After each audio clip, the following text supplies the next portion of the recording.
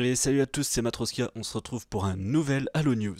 Cette fois-ci, on va parler de la Master Chief Collection et des débuts de flight test de Halo 4. Vous le saviez, Halo 4 est censé sortir avant fin 2020 sur PC. C'est pour cela que 343 a lancé les flight tests de Halo 4. Déjà pour commencer, avant cette news, on a eu une petite nouvelle concernant la Master Chief Collection sur les séries X. Le jeu serait bien optimisé pour les séries X, donc 120 fps, 4K, via un post Twitter de Halo et Xbox FR.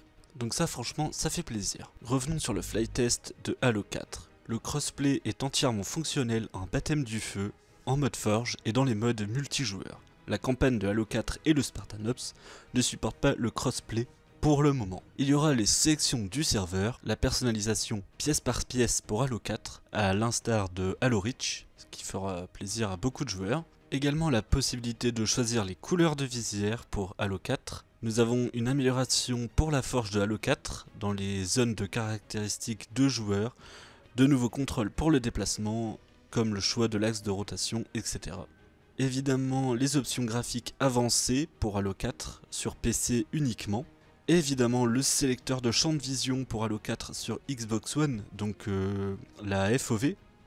Donc euh, on espère que ça fonctionnera bien et en tout cas ça va faire plaisir à beaucoup de monde.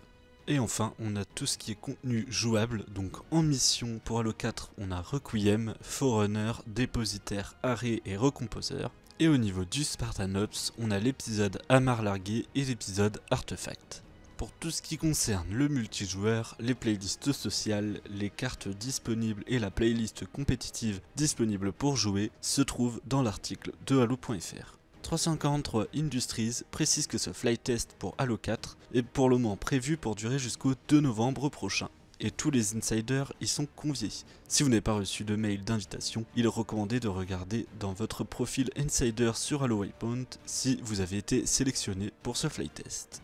N'hésitez pas à dire en commentaire ce que vous pensez de ces nouveautés si vous avez hâte de jouer à Halo 4 sur PC. On se retrouve dans de prochaines vidéos, c'était Matroskia et vive Halo